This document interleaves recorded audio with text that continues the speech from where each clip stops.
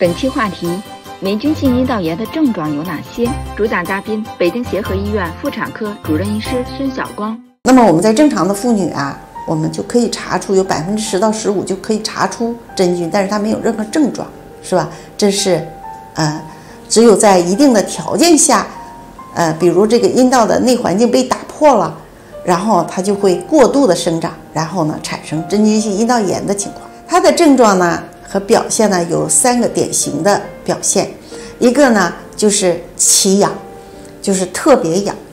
有一些人因为反复发作，他痒的就差一些了，但是呢，痒是一个最主要的症状。然后呢，豆腐渣样的白带，这个白带可可能像豆腐渣一样，也可能像酸奶块一样的白带。第三个呢，就是有一些人呢反复发作，在月经前后容易发作，这是它的主要症状。